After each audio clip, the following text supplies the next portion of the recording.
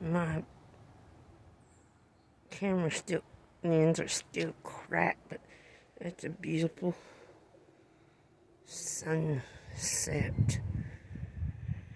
A beautiful Oklahoma sunset on the evening before it turns to winter storm watch tomorrow night at 9 p.m.